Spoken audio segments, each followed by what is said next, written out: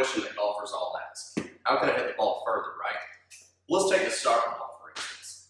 Kick it to you, Taylor. Okay, she kicks it straight at me. I'm able to step into it and kick it accurately and with ample force. Now say Taylor kicks it out to the side. Now, I'm not able to kick it accurately, and my force is going to vary greatly. All right, why is that? It's because I'm out of position, making it hard for me to produce the shot that I'm after. Well, I know what you're thinking. Ryan, ball doesn't move in golf. Well, yes, that's true, but you still need to be in the correct position, specifically impact. And guess what? You don't even have to leave the office to practice impact. You can just walk over, say, to a doorway, or even right here to the center of the couch. Just grab your seven iron. We're going to walk over. I'm going to press the seven iron up against the bottom of the couch here. Then all I'm going to do is lean, creating a forward lean of the shaft. This is the correct impact position. All you do is keep repeating this over and over.